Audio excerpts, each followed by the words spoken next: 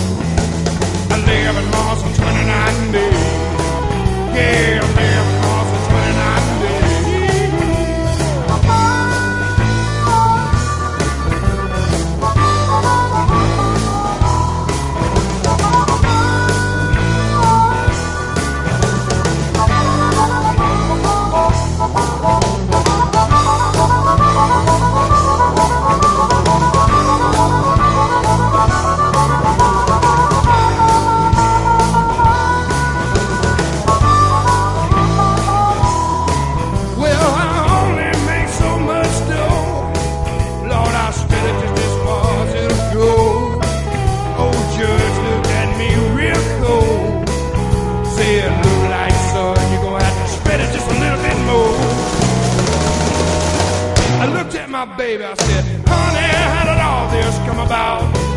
Oh, baby, can we go on and work it out? She said, you give me some money today.